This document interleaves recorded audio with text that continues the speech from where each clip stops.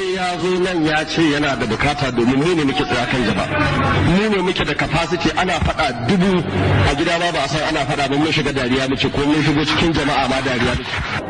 Kuma mun sani akwai yaƙi a jihar Kano na cin zaɓe kuma dole sai an zo an ba da shugabanci sai an ba da jagoranci. Yaƙi ba zai yi ba sai da uwa. Bayan da za ka je kai yaƙi haka kawai baragada da shugabanni biyu ko uku ko huɗu dole sai da guda ɗaya.